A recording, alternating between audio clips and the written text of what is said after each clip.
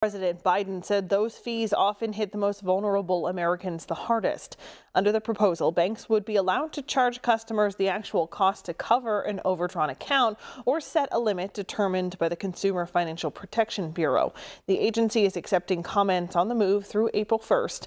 The new regulation is expected to take effect in October of next year. According to the Bureau, banks take in about $9 billion a year in overdraft fees.